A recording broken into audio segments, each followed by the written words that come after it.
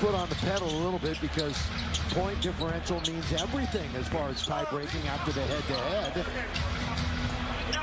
Underneath the ball, if it does. Look, the new rotation has worked out perfectly so far for Darvin Ham and staff. Chance of getting into this league. Jaren Jackson Jr. has been awful so far on the offensive end. Biyombo to beat the clock. He drove right into a crowd. Stop and shoot for Bane. Smart. And they hit you on the arms. Very clever. That drove everybody nuts. And uh, Harden, of course, was leading in free throws for years with that. Hey, while we have spot in particular, right, that he seems to be getting most of those threes from, and it is the corner, the spot that LeBron is so good. Absolutely. They're going to definitely be looking for that corner three because they're going to double team LeBron and AD as much as possible. Oh, spin by Jackson. AD brought it right back at him. Here comes LeBron. The bounce, the kick, the try. Hit out in front of his feet Yeah. that time, so he lost lost his balance. I mean, heck of a player, but just not tonight. So Kern has coincided with the Lakers offense playing better the last three games. Good feed. 80. It does. I, I think he's just comfortable here. You know, doesn't have, you said it, doesn't have to do too much. Turnover.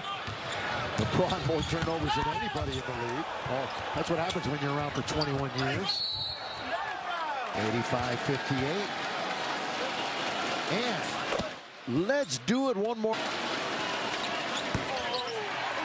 One good, one no good. seven nights. It's one of the busiest parts of the schedule for the Lakers as once again Taurean Prince open.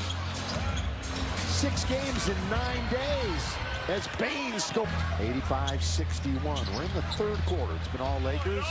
There's Jackson Jr. Lakers, they are 1-0 after beating Phoenix. That's the way you do it on eighth double-double. Oh, and it's about his thousandth block. To talk a little defense, Mike? Yeah, you know, sir, we're just talking about how it seems like he's got a average. The game they averaged 48 points in the paint, so they'll certainly get some more. But what's the biggest reason why it's not going in tonight? Well, Anthony Davis, and it's funny, Billy. You mentioned Defensive Player of the Year. Uh, you were talking about that in the first half. Whenever Yeah. I've asked AD about that in the past, he always says, "Ah, I don't care." I'll say that. It would be that. I, I think he, like you said, he enjoys playing defense.